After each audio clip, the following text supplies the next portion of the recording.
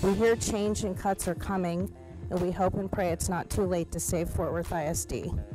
Jobs are on the line at Fort Worth ISD. The school board unanimously approved a plan to reorganize staff and cut costs just in hopes it will improve student enrollment.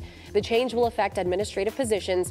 We did ask district leaders whether severance pay will be provided and how many positions this will affect, but we didn't get an answer yet.